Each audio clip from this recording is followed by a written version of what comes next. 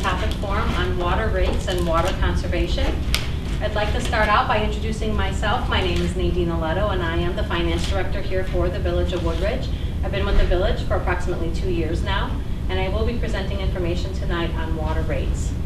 Also presenting tonight is Linda Dalton, and she is our accounting manager with the Village of Woodridge. She's been with the village for almost 15 years now, and a little bit later tonight, she'll be presenting some information on water conservation. I thought I'd start out with a clip, a a little bit of clips first to introduce our subject.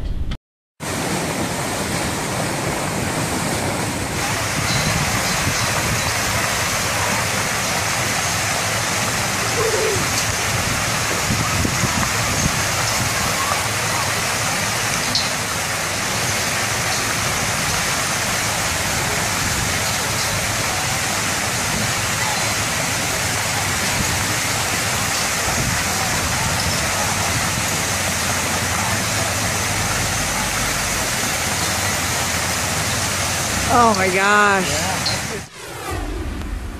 We have a geyser gushing in California right now, but this isn't Yellowstone.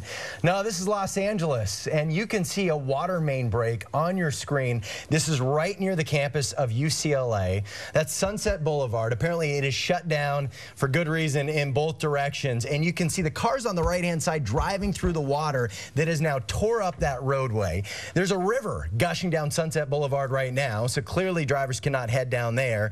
Very busy street usually at this time of day, and you can see what it's done to the roadway. It's just torn up chunks of concrete. It is spurting at a high rate into the air, and until they can get the water source turned off, they've got a problem on their hands. And look at the amount of water flowing down the side of the street. And you can see it's flowing onto that street to the right where cars are still able to get by. We've been watching these live pictures for a little bit, and you can see as they back out, the huge area that it's affecting. It's flo uh, flowed all the way into this field nearby. It's now soaked. The track of that field, the football field, is underwater. And you can see all the water that is pooling. So this has been going on for some time. It's cascading down steps into whatever building that is. Unclear if this is actually the campus of UCLA or right nearby, but it certainly looks like a college campus when you have those sort of facilities. Um, we're working to get more information, but what a mess going on right near UCLA in Los Angeles. And you can see these people, they're stranded. I mean, they may be able to go one direction, they can't go the other, and this guy's got his bike and he's willing to brave the, the uh, ankle deep water. So just a mess, and you can only think about the damage. But obviously, this has been going on for some time. If you look at the amount of water, um, and you can only imagine the amount of damage that is going on as this flows into buildings. There are some evacuations going on in that area. As we said, they've shut down at least Sunset Boulevard, and you know that other streets are shut down as well. But, you know, it's been some time since I've seen a picture like this. And once again, all this water, we believe, coming from that one water main break. But that's one heck of a water main. Yeah, we're being told that this is actually the practice football field at UCLA, and there is a parking garage as well as this water kind of cascades down. I've never seen anything like this. I mean, to have that much water kind of spill over into such a large area so fast, I think hopefully they're going to pan up and show you again uh, the break that is just peeling away pieces of the road. Um, man, you got to believe they are scrambling as heck to try to figure out how to stop this. Look at the water.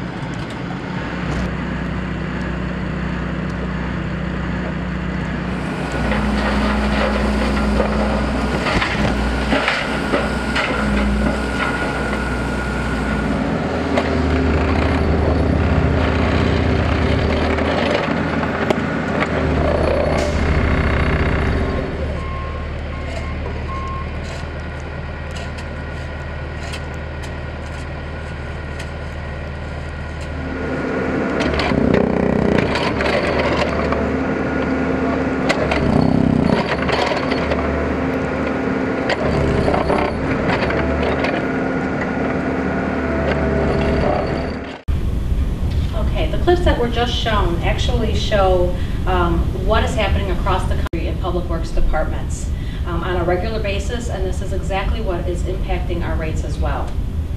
The first clip that you saw was a water main break that occurred in Janesville, Wisconsin on March 16th of this year. The second clip was from Los Angeles. It was a break that occurred in July of this year. And lastly was that small educational piece that we shown on how a water main break is repaired in the Madison Water Utility. Now you note in that last clip that they noted on average that that crew performs approximately 100 repairs on breaks annually. For the village, our average is 50 to 60 per year. As I mentioned prior to watching the clips, water main breaks are becoming increasingly more common across the country as our infrastructure is aging and coming to the end of its useful life. A recent study by the Chicago Metropolitan Agency for Planning found that the Chicago area alone is losing 22 billion gallons of treated water per year through leaky pipes. To put that into perspective, that's water to serve approximately 700,000 people. Nationwide, it is estimated that about 2 trillion gallons are wasted. And that's about one-sixth of all the water that this nation treats. This is a major problem that directly impacts rates in two ways. First, this is unbilled water loss. The village is required to pay the DuPage Water Commission for this water because we used it. However, it never made it to a home or a business to be billed, and so the village is not receiving any revenues to offset this cost. Secondly, it directly speaks to our aging infrastructure and the need to maintain and reach our water main systems in order to tighten them and reduce the amount of unbilled water that occurs. And we'll get into that a little bit more later in the presentation. First, let's talk about water rates. At their November 6th meeting, the village board passed water rate increases that will take effect with all usage billed on or after January 1st, 2015. As you know from your water bill that you receive from us on a monthly, a bi-monthly basis, there are really three components to your bill. The first is what you are charged for your metered water usage or your water rate. This is billed on your actual usage, and the village contracts with DuPage County who goes out and reads your meters, and then they provide those reads to us on a bi-monthly basis. The current rate being charged per thousand gallons of water is $6.87. The new water rate per thousand gallons effective in January will be $7.92. That's an increase of $1.05 per thousand gallons. And 71 cents of this increase is the increase in what the DuPage Water Commission is going to charge us to purchase the water from the city of Chicago. As all of you all know, the village, as have all other suburban municipalities that receive their water from Lake Michigan, have seen major increases in their costs to buy this water the last four years.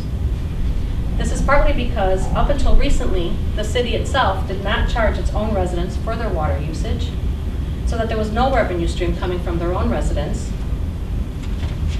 And in addition, they did not put any dollars towards maintaining or replacing their infrastructure, and then were suddenly faced with a water system that was in need of repair and at a considerable cost as well. So as a result, the city passed on a set of major water increases to the suburban municipalities. The customer service charge, which is the fixed cost of your water bill, will see a 3% increase beginning in January. Now this charge is not based on usage, but rather is based on meter size. An average residential meter size is 3 quarter inches. And for that resident, they will see a rate increase of 36 cents. Their bi-monthly charge is going to go from $11.06 to $12.00. The sewer maintenance fee, which is a rate charged per thousand gallons, and is based on your actual metered water usage is going to increase 11 cents per thousand gallons. The new rate beginning in January will be 87 cents, and this rate does not include the cost to treat the water. That is done by DuPage County and is one of, at one of their treatment plants. They bill for that separately. The increase in the sewer maintenance fee of 20 cents, along with the 34 cent increase in water rates, were increases made by the village, and they are needed to fund the maintenance the village's water and sewer system, which like the city of Chicago is also aging.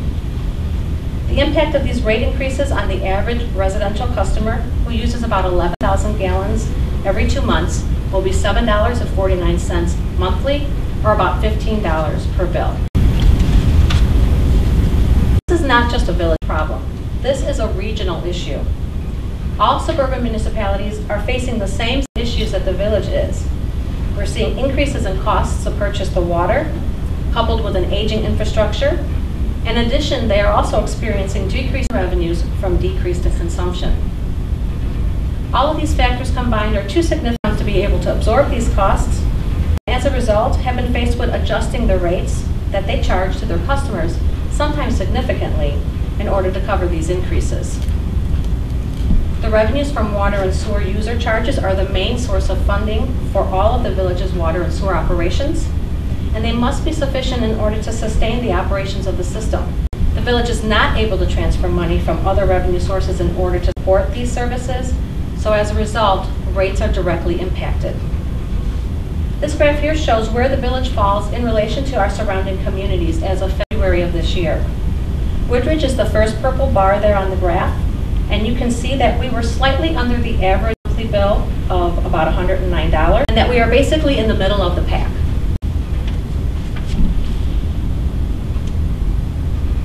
This slide here shows the history of the village's water and sewer rates over the last 30 years.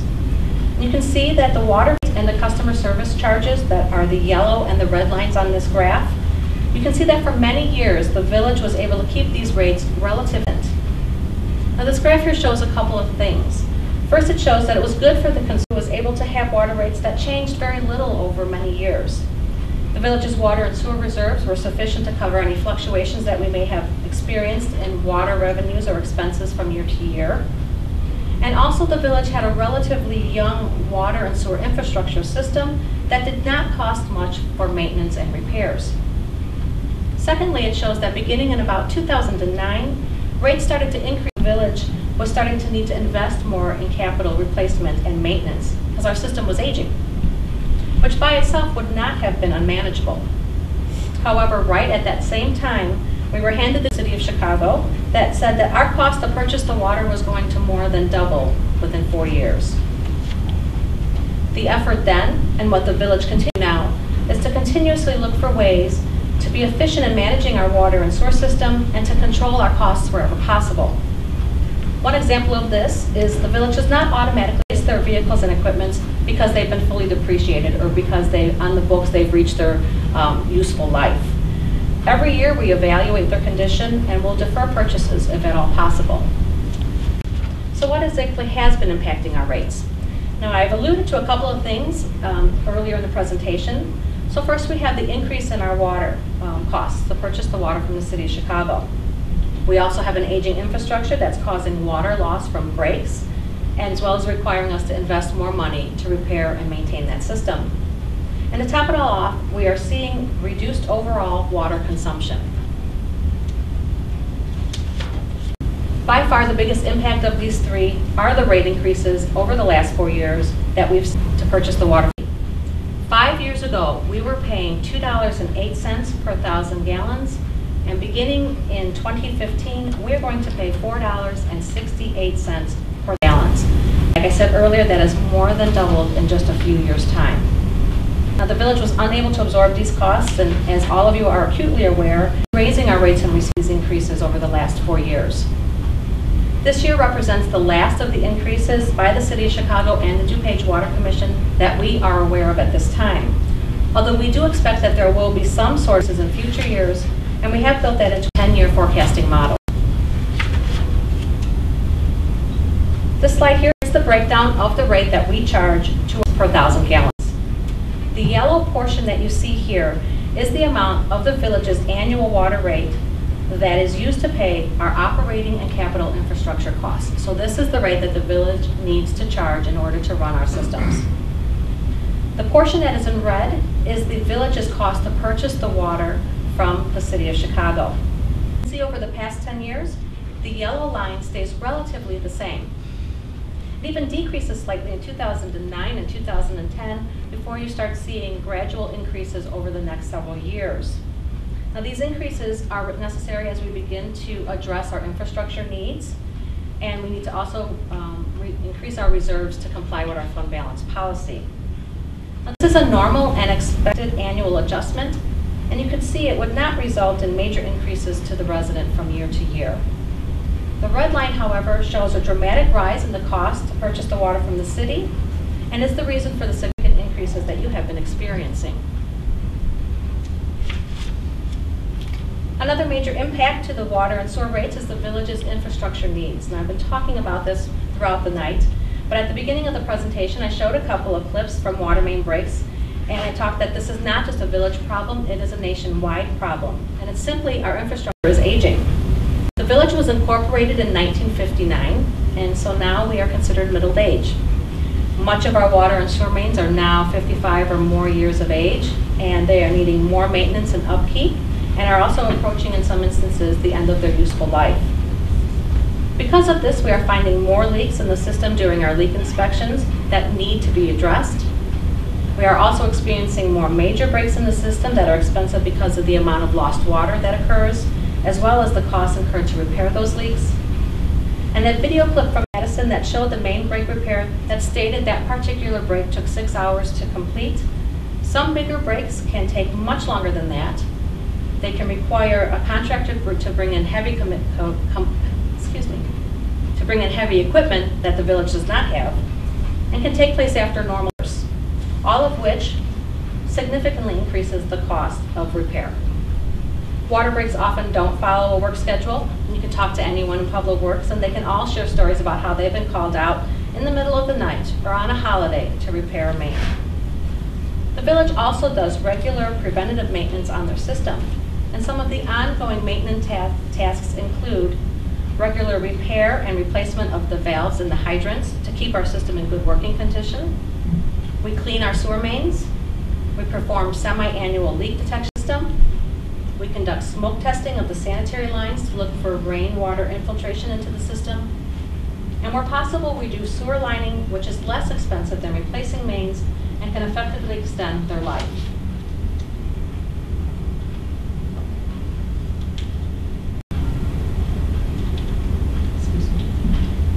Unbilled water loss is another major impact on rates. The Chicago-based Center for Neighborhood Technology recently put out a report that estimates that as much as 6 billion gallons of water per day may be wasted in the U.S. For the village last year, we had approximately 110 million gallons in lost water. Now, some of that water loss is expected, and it occurs for a variety of reasons. For example, we do have unmetered water that is used by the fire department to fight fires. They also exercise the hydrants on a regular basis to be sure that they're in good working condition in the event that they are needed to be used. Water is lost during hydrant flushing, which is done to ensure that there's proper pressure in the mains to effectively pump the water to fight fires. And we also have water loss from building and construction activities that occur within the village. For the village, we typically about 3 to 4% unaccounted, unaccounted for water loss for these activities. The majority of our water loss that we experienced last year, however, occurred from water main breaks. During last year's brutal winter, that we had a couple major breaks in the system. Due to the location of the break and the large amount of snow cover that we had throughout the entire winter, they went for a good time undetected. These couple breaks alone resulted in almost a half a million dollars in lost water last year. The village, however, is being responsive to this issue and has raised our rates so that we are able to invest more dollars in our infrastructure in order to tighten up our system and reduce the occurrences of these breaks. Another impact to our rates is actually something we're going to give you some tips on what to do a little bit later in the presentation when Linda speaks, and that is the village is seeing a drop in our annual consumption. You can see by the graph on the chart here, with the exception of 2013 is when, which is when we experienced those main breaks, we have seen our annual consumption go down. This drop in usage means that we have to charge more per gallon to collect the necessary revenues to support costs that are needed to provide an ongoing water and sewer system. Now, there are several reasons why we are seeing a drop in consumption. One reason is in response to increasing rates. Rate increases directly impact a person's budget, and for some of them, it is enough for them to modify their water behaviors. Another reason is due to our conservation efforts. We as a society are becoming more conscious of our environment And we do understand that water is a precious resource and it is not limited, it is not unlimited in supply and cannot be unnecessarily wasted. And so we have implemented practices that make us good stewards of our water usage, such as using rain barrels to water our lawns and gardens. In addition, many new and remodeled homes now have low volume heads, toilets and faucets, and more and more of us now are having high efficiency washers, and so we're seeing reduced consumption in our homes as well. Another factor that directly impacts our consumption is the weather. So we would normally expect to see a spike in usage during the hot summer months, and even more so if we have a dry, hot summer. However, of late, we've had cool, wet summers, and so we've not had the typical increases summer months, summer months that we would expect to see. So in summary, the village is constantly monitoring the water and sewer fund and strive to keep rates as low as possible while maintaining our sewer and sys- and systems. We are regularly usage, and we compare this to what we've billed out to our customers, and we also investigate any differences between those numbers. We analyze seasonal water trends, and we compare these to our actual consumption. We look at our revenues and expenditures, and we have delayed projects if, or activities if revenues aren't sufficient to support them. We monitor what development is occurring in the village. We annually perform a comprehensive water and sewer rate review during our budget process. This is where we review our fund performance and we pre- prepare long-range forecasts. We look at what increases to the costs that there may be, what improvements we may need to the system, and what rate adjustments may be as a result. We do all this to ensure the stability and the viability of the fund, not only for today, but for the future years as well. I'd be happy to answer any questions that you may have. Okay, I'm also be available after the presentation, so with that, I'd like to ask Linda to come up, and she's going to speak to you about water conservation.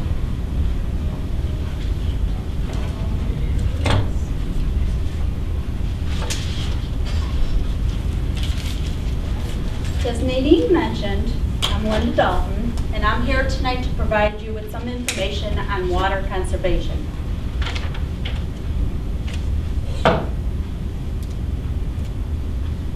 First, I'd like to provide you some facts. As you can see, 70% of the earth is covered with water. Of that 70%, 97% is saltwater and 3% is freshwater. Of that 3%, 69% is ice caps and glaciers, 30% groundwater, and less than a half a percent is surface water. Of that half a percent, 87% comes from lakes, 11% comes from swamps, and 2% comes from rivers. This is why only 1% of the Earth's water is suitable for drinking. Eighteen percent of all fresh water comes from the Great Lakes. The Great Lakes consist of five lakes, and that's Lake Superior, Lake Michigan, Lake Huron, Lake Erie, and Lake Ontario. Lake Michigan is the second largest water source in the Great Lakes. 75,000 people in the county of DuPage rely on Lake Michigan water. The Great Lake Compact li- limit by law in the state of Illinois is 3,200 cubic feet per second per day, which is 2.1 billion gallons per day. In 2006, Illinois recorded using 1.98 billion gallons per day. That's 95% of the maximum amount allowed to use. We consume fresh water faster than natural water cycle. So it's our responsibility to protect and preserve water. Our community benefits by water conservation because it preserves our future water supply as well as our environment. It also saves money and energy.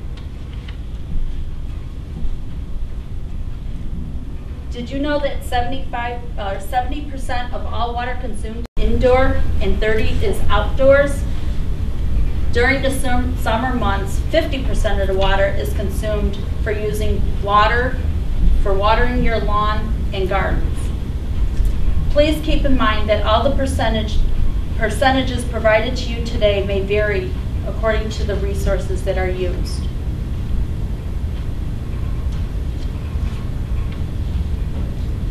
The biggest indoor use is toilets at 20%.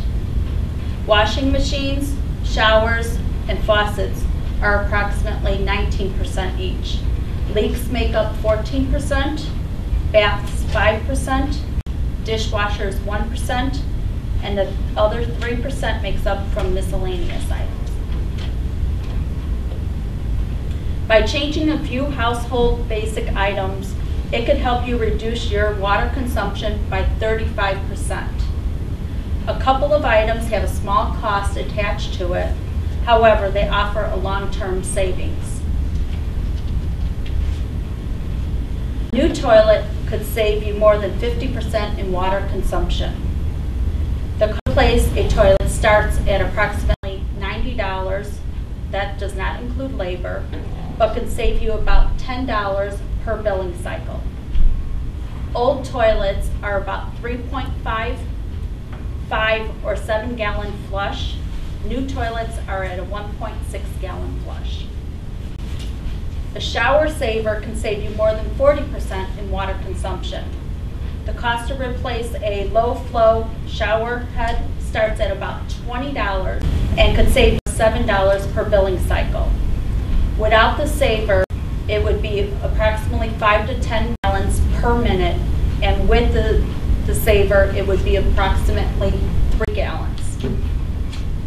Installing a faucet aerator screen into your existing faucet could save you 50% on your water consumption. The cost of an aerator starts at about $4 and could save you nearly $10 per bill. Without the aerator, you would be using about gallons per minute, and with the aerator would be 2.5%, or 2.5 gallons. Purchasing a new washing machine is a little bit more costly. However, you could save 40% in water consumption by installing a front-loading machine. The cost of a front-loading machine starts as low as $400, but could save you as much as $8 per bill cycle. Obviously, the return on the purchase is not as big over time. However, it goes, if it does go out and you need to replace it, you might want to consider high efficiency front end loading machine.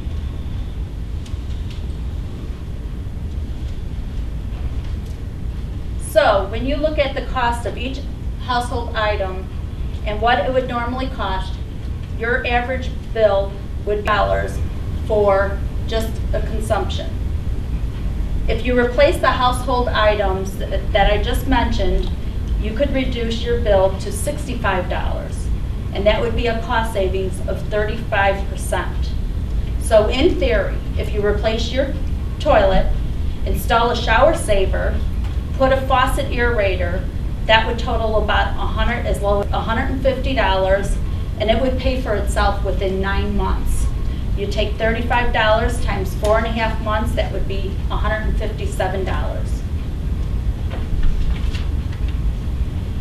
Now let's look at some other tips that would not cost you anything. Brushing your teeth or shaving, you could turn the water off. By turning it off during this event, you could save up to three gallons per minute. Don't run a dishwasher unless it's full. Dishes utilize between four and six gallons of water per cycle. What I do is I have a sink that has two compartments.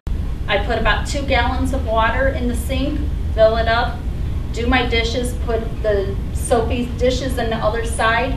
I take my hose nozzle, spray it off. I probably use only about three gallons to do dishes.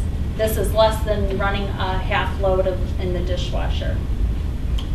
When washing clothes, to select the cycle so the machine fills with the proper amount of water. Heavy loads are about 10 gallons more than a lighter load. Avoid taking longer showers. You reduce your water consumption between 3 and 10 gallons depending if you have a low flow shower head or not. Keep in mind, these savings not only reduce your water bill, but they could save you money on gas and electric for heating the water that you didn't use. So let's switch gears for a moment. Let's talk about outdoor tips. As you can see from this slide, you could lose up to 600 gallons of water per hour for a running hose. Be sure to turn off your hose when you are not using it. Consider using a mist nozzle at the, at the end of your hose to utilize less water when it is on. When you're washing your car, consider using a bucket of water. This will minimize the amount of water that you use. Last, when you consider sweep, uh, consider sweeping your sidewalks or driveway instead of using a hose to hose them down. You want to, it's easy to take the hose and spray everything off, but you're using a lot of water when you do that. If you take a, a, a- a broom and sweep it off, it takes a little bit longer, but it is easier on your pocketbook. If you're gonna water your flowers, consider watering it with a watering can. Uh, that you're just watering the flowers and not everything else around. If you water in the morning or late in the evening, more water will be absorbed into the ground and less water will be evaporated. Watering your lawn only needs about one inch weekly, two times if it's extremely hot. Watering your lawn is more effective than watering your lawn frequently. If you're using sprinkler to water your lawn, be sure not to water more than your lawn. You don't want it to go on the sidewalk or your house. That's just going to be uh, wasting water. Uh, The biggest waste of water is watering too much, too often. And you might want to use a timer. That'll help you keep track of how long you're running the a few lawn and garden tips. For nice, healthy, beautiful lawn, let grass grow a little longer. Uh, This, this will help you protect the new growth while reducing the amount of evaporated water. But please, don't let yours grow too long. You may not be in compliance with the village ordinance for tall weeds and grass, uh, which is eight inches. A good length approximately four inches. Control your weeds. Weeds deplete nutrients out of the ground and suck up more water than flowers. Mulch is another way to control your weeds. It also keeps your ground moist. Three inches of mulch is recommended. Consider leaving organic materials on your lawn, such as your grass clippings or leaves, and this will help preserve the soil and reduce evaporation. You may want to aer- aerate your lawn at least once a year to allow for deep penetration. Now for rain barrels and dye tablets. I'm not sure how many of you today are familiar with the rain barrel. Rain barrels collect the rain that comes from your downspout and collects it into a barrel for future use. Rain barrels are available for purchase in Page County for approximately $75. There is a stand also available for, which is cost approximately $20. If you want to see an example of rain barrel, we do have one at the Public Works lobby at One Plaza Drive. You could visit DuPage County website for more details.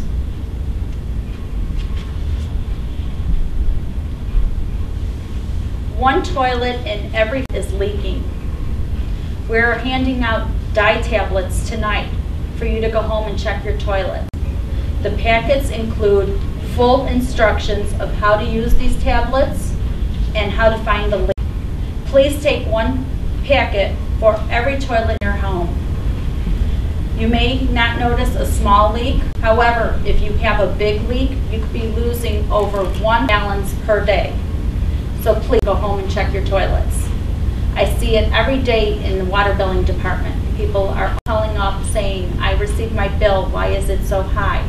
It's because they did not take a proactive approach. Instead, they reacted. So, before you leave, we have five handouts on the back of the table. Please make sure you take one. They're very informative. We lawn care water use. We have indoor water use. We have outdoor water use. How to fix a toilet leak. So a water quiz. Uh, how much water do you use? We also have the dye tablets on the back table, so be sure to take those.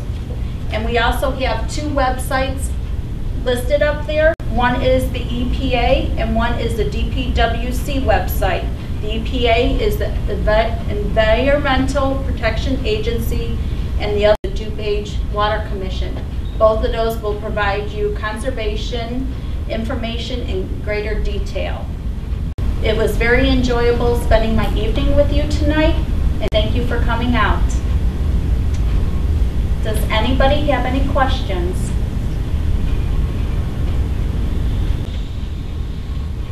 Thank you.